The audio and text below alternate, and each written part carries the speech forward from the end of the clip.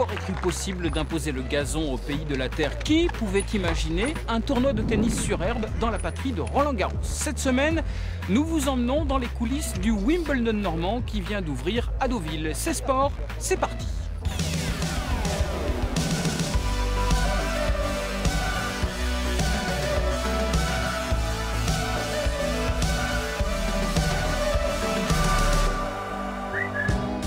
soir, nous reviendrons sur les courants de la liberté qui ont pris fin ce matin. C'est Sport a aussi tenté d'approcher les footballeurs croates qui séjournent à Deauville pendant l'Euro.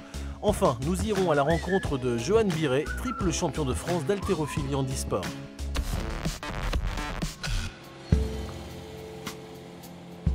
La hauteur de coupe est réglée à 1 cm. Au printemps, l'herbe pousse de 3 mm par 24 heures. Le tapis doit donc être roulé et tondu chaque matin. Il faut ensuite reprendre le traçage des lignes pour redonner naissance au cours. Ce travail fastidieux, c'est le prix à payer pour pouvoir jouer au tennis sur gazon. Un vieux rêve qui commence tout juste à prendre forme. on se rend pas compte. On se rend pas trop compte en fait. Contrairement à ce que me disait un banquier à un moment donné qui disait bah, des projets comme ça, si ça se fait pas, vous en ferez d'autres, vous allez voir, c'est pas le projet de votre vie. Bon, je pense qu'il n'avait pas très bien compris le projet. Mais euh, non, c'est le projet de votre vie. C'est le projet d'une vie, ça. L'idée a germé il y a 9 ans dans l'esprit de deux jeunes entrepreneurs canais amoureux du tennis.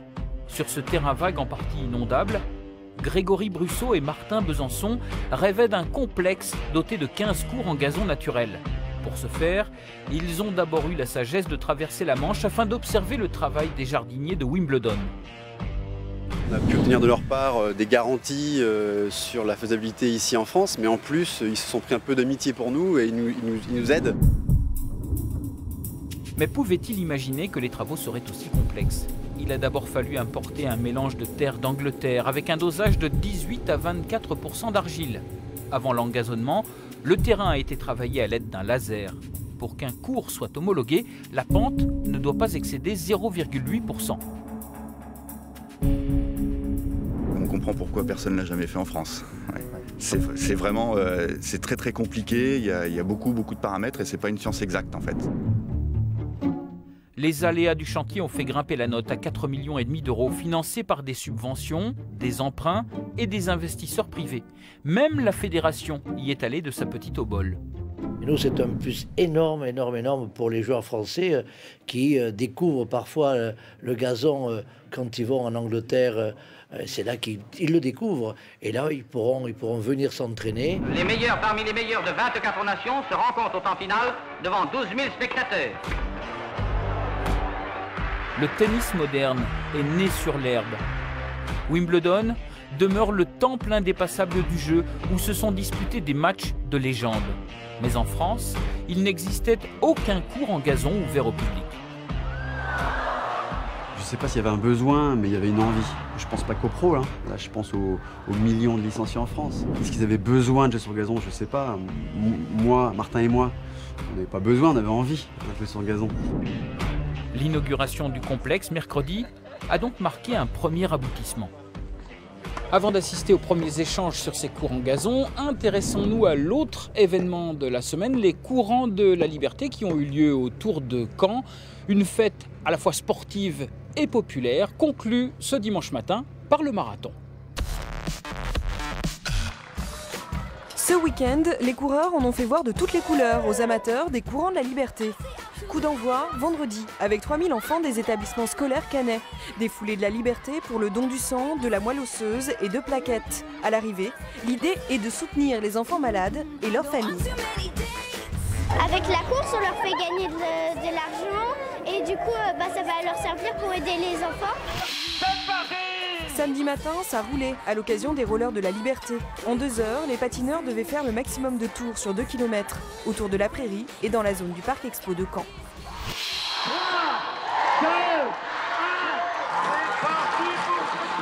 Samedi soir, pas de faux départ pour les 25 000 femmes de La Rochambelle. Elles voulaient voir la vie en rose. Paris réussi. Alicia, la gagnante de la course, a parcouru les 5 km 300 en 21 minutes. Il y avait des concurrentes de taille. C'est extraordinaire. C'est sympa, mais c'est dur. Ça va très vite. 175 000 euros ont été récoltés pour financer l'accès au dépistage du cancer du sein, la recherche, les soins et l'accompagnement des malades. Avec au passage une naissance pendant la course et le slogan des CUNU. CUNU un jour, CUNU toujours Dimanche matin, c'est l'heure du marathon, l'épreuve phare des courants de la liberté.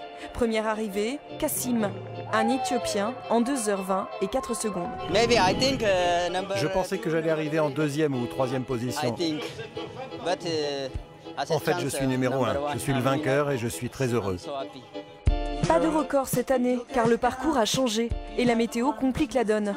Martha Komou, la première femme sur la ligne d'arrivée, confirme.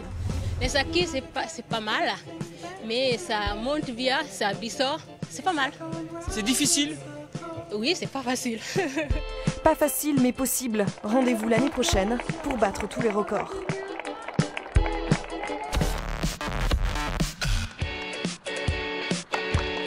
Nous voici de retour sur le gazon du Lawn Tennis Club de Deauville. Avant le tournoi exhibition organisé pour célébrer l'ouverture du complexe, quelques jeunes joueurs sont venus en pionnier. La plupart ont grandi sur la terre battue. Myrtille Georges, qui vient de passer un tour à Roland Garros, n'avait encore jamais joué sur l'herbe. pour une première fois, euh, avec l'entraîneur, on est agréablement surpris. C'est très, en tout cas, elle a le sourire. Et c'est pas pas forcément tous les jours qu'elle a le sourire. Donc la première chose que j'ai fait faire à Myrtille, effectivement, c'est de retirer ses chaussures et de marcher sur l'herbe. Pour la sentir Oui, voilà, pour, s'imprégner. Et moi, je lui ai dit, il faut, aimer ça. Les rebonds, les effets, les prises de raquettes. Sur le gazon, tout est différent. C'est bizarre, mais c'est pas mal. C'est aussi pas évident pour courir, je trouve. Ça, ça accroche, pour se déplacer, c'est dur, quoi. Mais après, je pense que c'est une question d'habitude.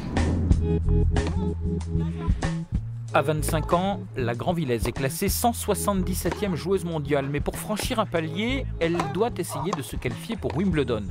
Deauville peut lui permettre de préparer la saison sur herbe. Le stress du retour des joueurs, euh, le stress du fourbon, du rebond qui est trop bas, c'était des, cauchemars pendant quelques nuits la mise en place a été assez dure avec la météo qu'on a eue euh, en début d'année. Et en fait, ils sont, euh, hyper contents euh, des terrains. Ces cours devraient logiquement attirer nombre de joueurs professionnels. Au sortir de Roland Garros, il faut se réacclimater, retrouver les sensations sur herbe. C'est aussi valable pour les joueurs qui ont déjà brillé à Wimbledon. C'est sur ce cours central que se joueront tout à l'heure les premiers matchs exhibition. Restons à Deauville, où d'autres pelouses font l'objet des plus grandes attentions au parc de loisirs à deux pas. Le gazon ne doit pas excéder 24 mm. C'était la condition sine qua non pour pouvoir accueillir une équipe de football pendant l'Euro. Les Croates sont arrivés à Deauville mardi et nous y étions.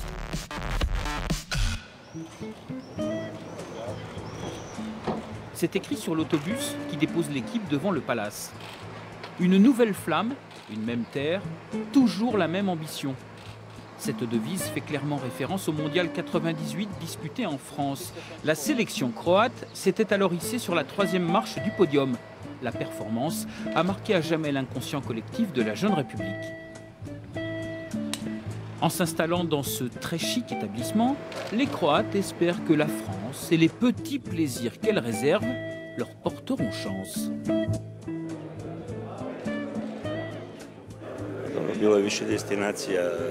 Deauville, c'était une évidence. Même si d'autres lieux étaient possibles. On pense que l'équipe va se sentir bien ici. Et on espère qu'elle conservera d'aussi bons souvenirs que celle de 1998 qui logeait à Vittel. Durant leur séjour, les joueurs partageront leur temps entre l'hôtel et le parc de loisirs où ils s'entraîneront à l'abri des regards. Mais pour marquer son arrivée, la sélection a accepté un entraînement en public au stade du commandant Hébert. Fouille approfondie, contrôle d'identité à l'entrée, les 400 invités sont priés de s'installer en tribune et d'y rester. La presse a aussi son petit carré, idéalement placé pour que les objectifs saisissent l'entrée des joueurs. Ici, Matteo Kovacic et son coéquipier Luka Modric, les stars du Real Madrid hébergement, transport, sécurité pour être de l'euro, Deauville a dû se plier à des règles strictes. Le parc des loisirs où ils vont s'entraîner euh, est fermé depuis plusieurs mois et euh, il y avait un cahier des charges de l'UFA sur aucune mauvaise herbe, de 24 mm ou 25 mm de, de hauteur de gazon. Ce premier entraînement n'est rien d'autre qu'un petit réveil musculaire, conclu par un cadeau fait aux enfants du club de Trouville-Deauville. C'est trop bien, on a joué avec des joueurs professionnels et c'est peut-être la seule fois dans notre vie. Là, on voit des joueurs qu'on va voir à la télé. Quoi. Quand il joue, il fait, il fait ce qu'il veut. Il, fait, euh, il peut faire ce qu'il veut. Il est colopier, il fait ce qu'il veut. Ça fait envie Oui. Leur séjour à Deauville durera aussi longtemps qu'ils seront qualifiés. Mandzukic, le buteur de la Juve, et ses coéquipiers en sont certains. En France, pour la Croatie, rien n'est impossible.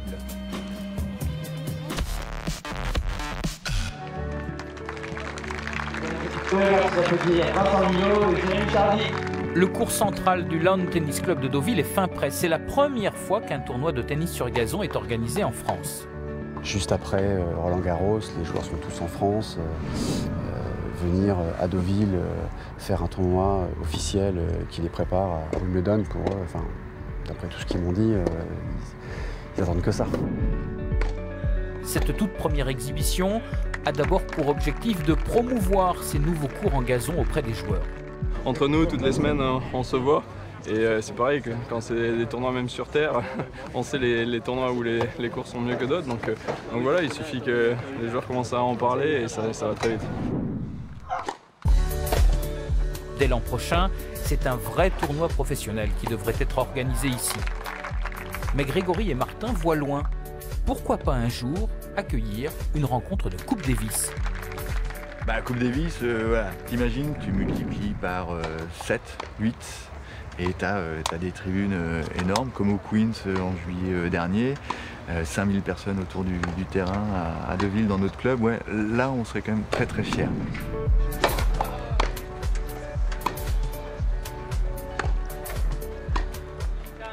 Nous vous proposons maintenant une rencontre avec Johan Biret, triple champion de France d'haltérophilie handisport. Il est aujourd'hui âgé de 30 ans et il se raconte dans un livre.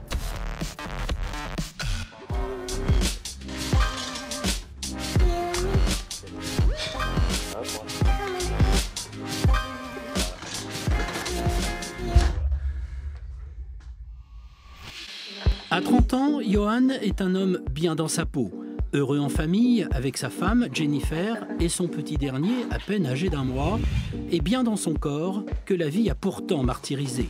Victime d'un terrible accident de la route à l'âge de 8 ans, plongé dans le coma trois semaines, il s'est reconstruit avec l'aide de ses proches et grâce au sport, un combat qu'il raconte dans un livre. Ce livre-là, ça, me permet de, raconter en fait aux gens mon histoire, d'où je viens, comment j'ai fait euh, pour m'en sortir, mais euh, et montrer que le soutien familial et amical, dans mon cas, a été exceptionnel en fait. Quand j'ai eu l'accident, les médecins m'ont dit tu euh, tu pourras plus courir, tu pourras plus faire de rugby. Je dis bah on verra. Et c'est tout vu, Johan est aujourd'hui triple champion de France d'haltérophilie en e-sport.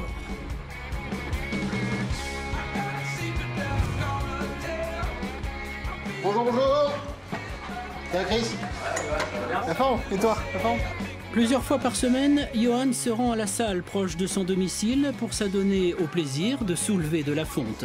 Ce beau bébé de 107 kilos, à la joie de vivre communicative, travaille avec un entraîneur qui s'adapte à son handicap. La première chose qu'on fait déjà, euh, de par euh, son hémiplégie, bah, on regarde déjà si physiquement ça va. Parce que chaque journée est différente pour lui. Des fois, il peut vraiment pas lever le bras, des fois, il peut bien l'utiliser. Donc, il faut gérer ça et c'est surtout l'échauffement qu'on voit ça. Hémiplégique, Johan a perdu 30% de force du côté droit de son corps. Droitier, il est devenu gaucher. Sa jambe le fait souffrir, mais qu'importe, la douleur, il a appris à la maîtriser. Cette douleur-là, quand j'arrive ici, quand je rentre ici, jamais de côté. Alors, je l'ai toujours, jamais de côté. Je me concentre vraiment sur l'activité physique et en fait de soulever des, charges lourdes. Ça me permet aussi d'évacuer euh, mon handicap. Johan n'a qu'une envie, aller dans les écoles et les centres de rééducation pour expliquer qu'avec le sport et la volonté, on peut vivre pleinement avec un handicap.